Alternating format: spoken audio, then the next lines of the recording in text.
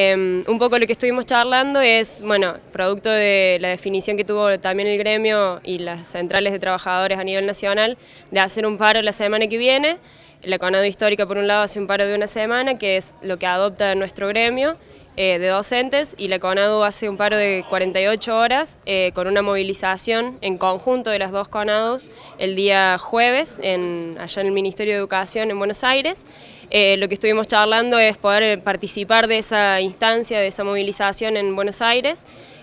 tanto los, los, estudiantes, las diferentes organizaciones estudiantiles convocadas por la Federación y los docentes y los diferentes claustros que puedan estar yendo a Buenos Aires, como también una, una manifestación manifestación de unidad en, la lucha, en esta defensa de la educación pública que, bueno, nos, atañe a todos y no solamente a, un claustro. Eh, convocar, en realidad se está convocando una asamblea para el martes 17, después vamos a terminar de confirmar el horario, asamblea estudiantil para también empezar a ver qué medidas podemos como estudiantes adoptar eh, en estas instancias de reclamo eh, que los reclamos salariales son totalmente justos, la defensa de la educación pública la tenemos que hacer entre todos y por ahí empezar a, coordinar acciones entre todos eh, y el estudiante no puede estar ajeno a esas instancias y por ahí bueno, necesitamos que, que todos los estudiantes estemos también al tanto de lo que está pasando en nuestra universidad y en otras universidades del país